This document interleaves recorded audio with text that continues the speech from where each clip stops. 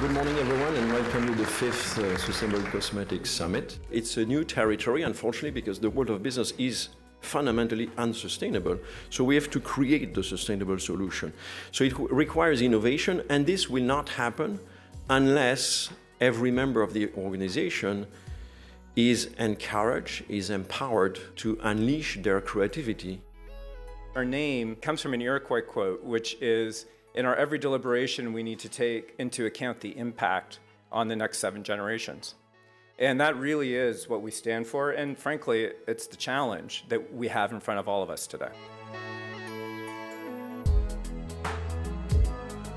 The global natural cosmetics market has grown from about 6.5 billion US dollars to almost 10 billion US dollars today. It's not driven by the companies that are developing the products, it's driven by consumers. Consumers are demanding green, natural, organic products. Companies are responding to that.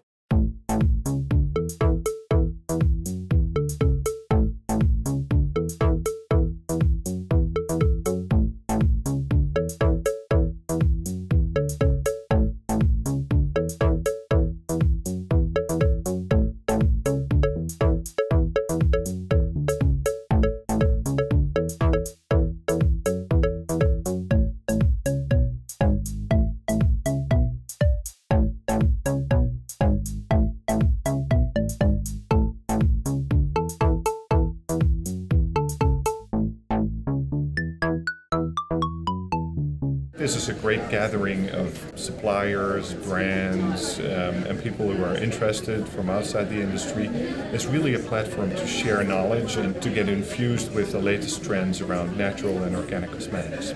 The partners that you may have in the industry may not be your cheapest source, but you really have to really look at the total sustainable value of the price. Um, I would say it's also critical to know your suppliers, and like that's not just like visiting their office and seeing their ingredients. It's actually going to the farms. The most valuable thing for me has been to be able to meet my peers in the industry and get their business cards and be able to have you know roundtables together to network and work with other brands that have um, a, a like vision, discussing what we can do to improve our industry as a collective.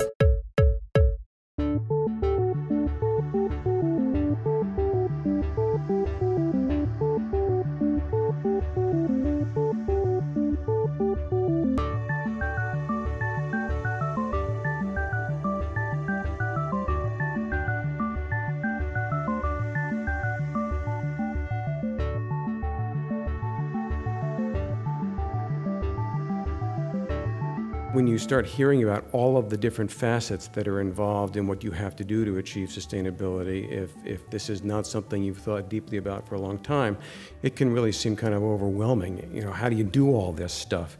But I don't think it has to be. When you recycle aluminum, glass, number one plastic, or paper, the value of that material after you go through the processing is greater than the cost of the processing. So there's a profit there. That's not the case for complex materials. We specialize in those materials that require separation or some other R&D solve to make it into a material that can be recycled. For those of us, for example, in the raw material supply uh, side who are providing materials to cosmetic companies, it is not the case that many of the cosmetic companies, when we walk in the door, say, what do you have that's new to share? They usually say, How are you engaging in business out there? That is a sea change. So, environmental preservation is key.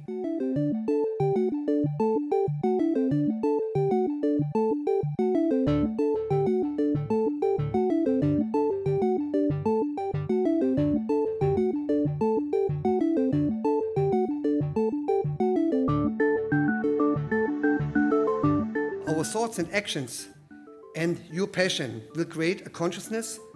And if you are able to inspire, inspire others, you will support a bigger consciousness. It's increasing because everything is connected.